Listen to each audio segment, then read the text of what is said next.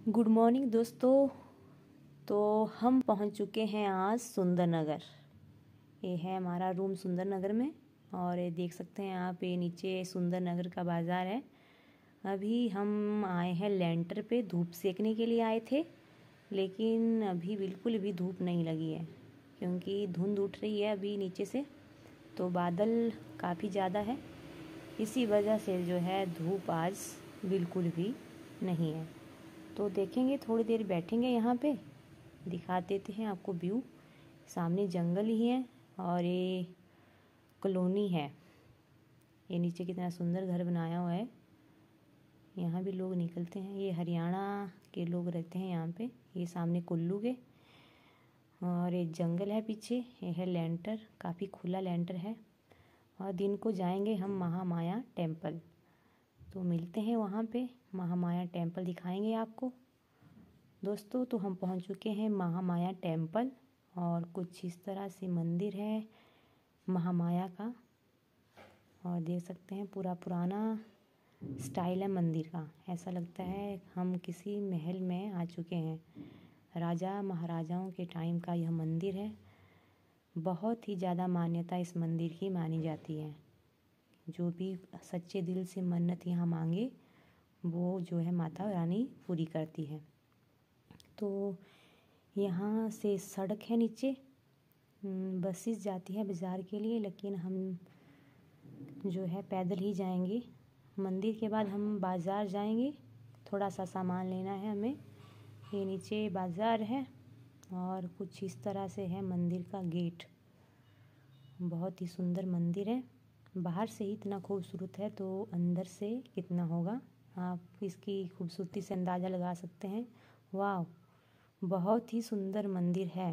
कितना खुला परिसर है इसका। ये देख सकते हैं आप कितना अच्छा कलर किया हुआ है इसको। और बीच में पता नहीं किस चीज़ का वृक्ष है ये। और देख सकते हैं आप मंदिर।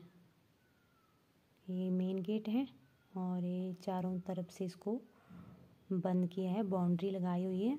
और देख सकते हैं मंदिर फुलवारियाँ हैं यहाँ पे और ये वृक्ष है। बहुत ही अच्छी खुशबू इस वृक्ष से आ रही है।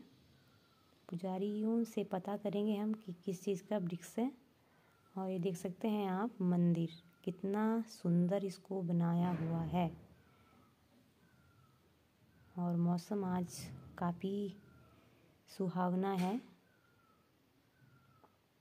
अब हम जाएँगे मंदिर। ये देख सकते हैं आप मंदिर।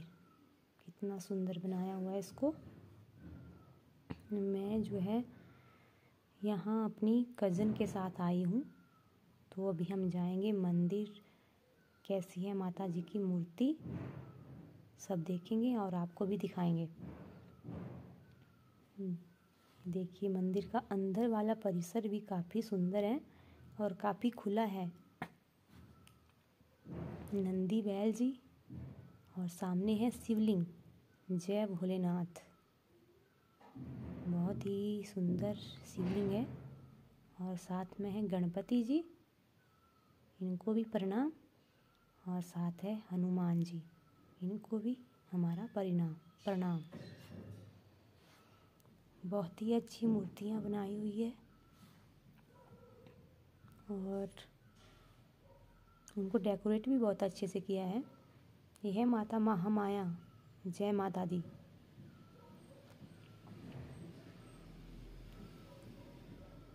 मैंने जो है पहली बार यहाँ पे विज़िट की है। और देखिए गरुड़।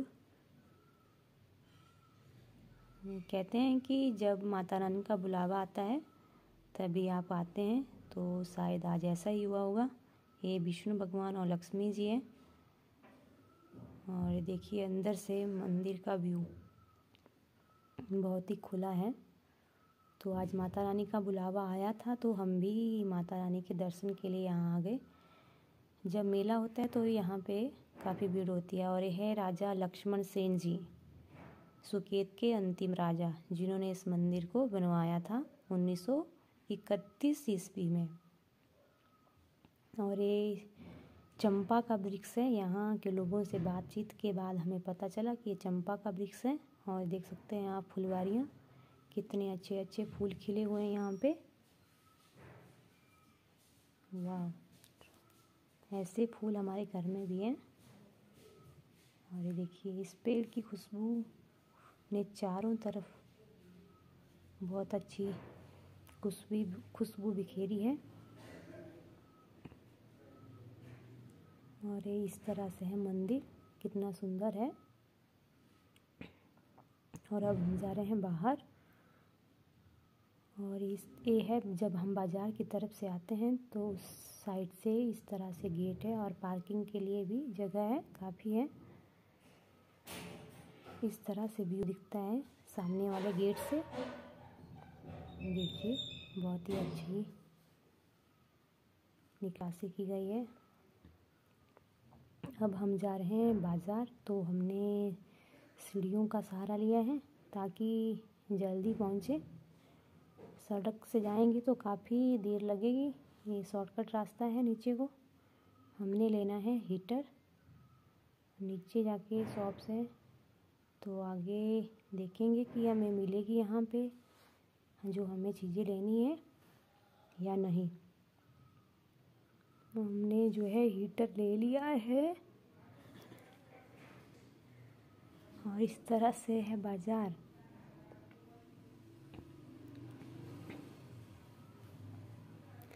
ये लोगों ने धनिया उगाया हुआ है इधर। सोच रहे हैं हम भी उखाड़ लें थोड़ा सा पर ऐसा नहीं करेंगे। और देखिए, अब मैं अपने ब्लॉग का एंड करूँगी।